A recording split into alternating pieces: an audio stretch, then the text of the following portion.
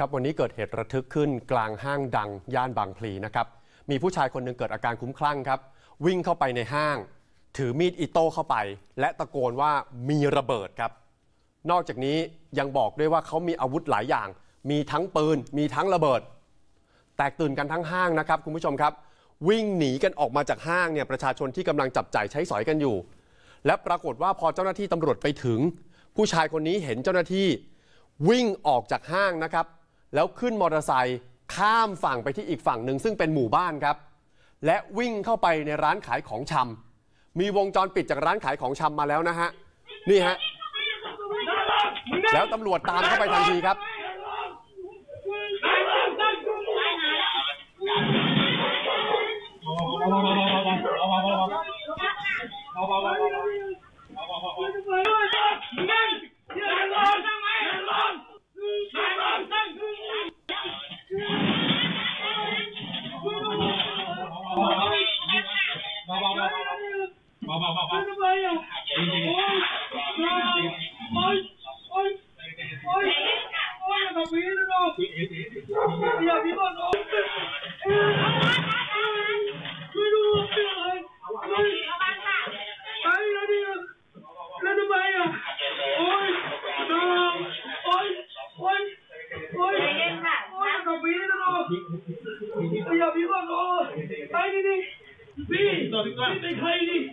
รดิเป็นใครอย่าเย็บผมนะ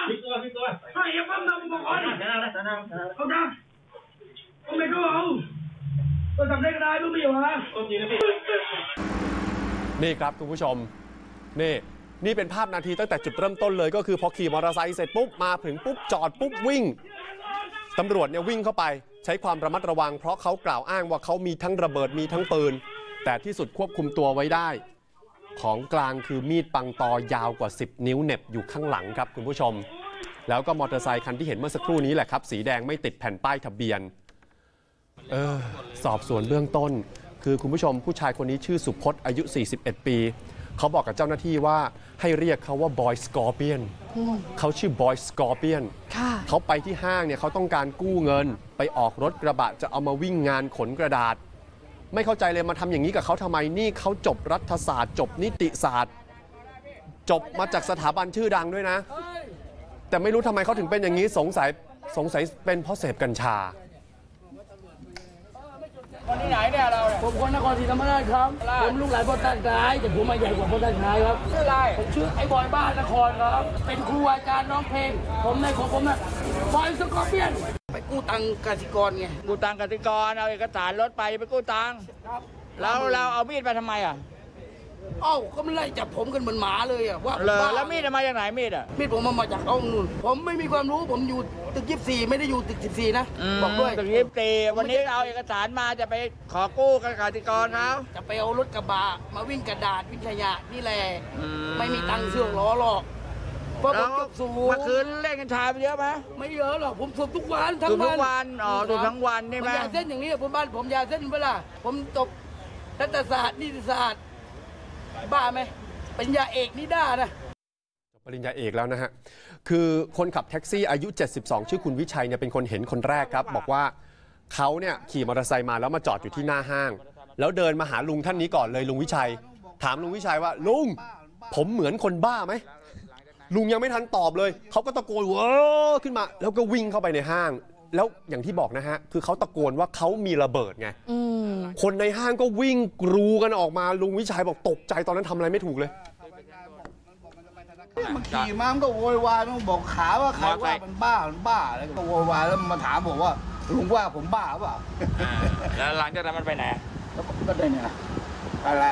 เข้าไปข้างในเออเข้าไปงานบอกมันบอกมันจะไปธนาคาร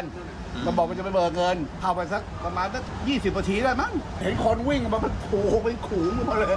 คนวิ่งมาวิ่งอะไรวะผมนึกอะสงสัยไอ้นั่นแน่ๆเลยนี่จริงๆอะอะทีนี้ทีนี้จะเห็นว่ามีผู้หญิงท่านหนึ่งอยู่ในร้านขายของชำชื่อคุณสมจิตครับ คุณสมจิตบอกตกใจทำอะไรไม่ถูกเลยอยู่ดีๆเขาวิ่งเข้ามาแล้วตำรวจก็กรูเข้ามาเลย เขา ถืออาวุธถืออะไรไหมไม่ได้ท้องบอกว่าช่วยผมด้วยช่วยผมด้วย อ่า แล้วก็วิ่งวิ่งเข้าไปในร้าน เราอยู่ข้างในอยู่แล้ว เขาถืออาวุธถืออะไรไหมไม่ได้ถือค่ะวิ่งตัวเปล่า แล้วตำรวจก็ตามไปตะครุบตัวได้ เพราะว่าเราอยู่ตรงนั้นเราบอกว่าอย่าเข้ามาอืมตอนนั้นกลัวไหมเนาะก็ก็ไม่รู้ด้วยว่ามันไม่เกิดไม่ได้รู้ว่าเกิดอะไรขึ้น แต่แต่รู้ว่าตำรวจประชิดตัว อืมมันคือเห็นไม่ได้ ตำรวจเห็นตำรวจแล้วก็เลยอุ่นใจ มันใช่ไหม ไม่ได้มาคนเดียวไงตำรวจติดประชิดตัวเลยเขาก็จับแล้วก็ล็อก ให้นอนลงตำรวจอีกนายหนึ่งเดินเข้าไปแล้วก็ไปบอกเราว่าเขานี้มาจากบิ๊กซีเขาใช้มีดเคาะตามตู้ตามร้านตำรวจไอ้รปภเลยแจ้งตำรวจตำรวจไป แต่เขานี้ตำรวจมา แค่นี้ เออ จนถึงขณะนี้ยังไม่เลิกหลอนเลยครับ ยังสอบปากคำไม่รู้เรื่อง เจ้าหน้าที่ก็คุมตัวนายสุพจน์หรือที่เขาอยากให้เรียกว่าบอยสกอร์เปียนรออยู่ที่โรงพักบางพลีนะครับ เพื่อให้เขาเลิกอาการหลอนก่อน แล้วถึงจะสอบปากคำก่อนแจ้งข้อกล่าวหาต่อไปอืมแล้วอ้างแกก็ว่าเสพกัญชาทั้งวันทุกวัน ใช่ ยอมรับตรงๆ ใช่ ผมพีทั้งวันทั้งคืนนั่นแหละไม่เคยหยุดหรอกเออยอมรับดื้อๆอย่างเงี้ยค่ะอะสลับมาดูค่าไฟกันหน่อยท่านผู้ชม